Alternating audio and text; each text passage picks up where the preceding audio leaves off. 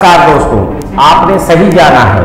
आज हम आपसे चर्चा करने वाले हैं कादीपुर के ऐतिहासिक गड्ढे के बारे में। ये गड्ढा अपने अस्तित्व को लेकर इंसानी विकास से संघर्ष करता हुआ कुछ दिन पहले विकास भूमि कादीपुर में प्रकट हुआ। इसका विनाश विधानसभा चुनाव से कुछ महीने पहले हुआ था। या यूँ कहे तो इस रोड को बनाया गया था।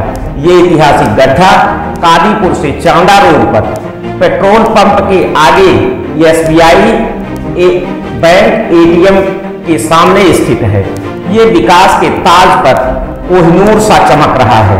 शायद इसी गड्ढे को पूर्व प्रधानमंत्री अटल बिहारी वाजपेयी जी ने ज़िक्र किया था कि रोड में गड्ढा है या गड्ढे में रोड है। उनके इस कथन को ये गड्ढा पूर्ण रूप से चित्रित व चरितार्थ कर रहा है। मित्रों, अगर आपको वीडियो पसंद आया हो तो वीडियो को लाइक, शेयर ज़रूर करें। आप यदि चैनल पे नए हैं तो सब्सक्राइब करना, साथ ही बेल आइकन दबाना ना भूलें। आप भी इस ऐतिहासिक गड्ढे के बारे में कुछ कहना चाहते हैं तो कमेंट बॉक्स में ज़रूर लिखें। धन्यवाद।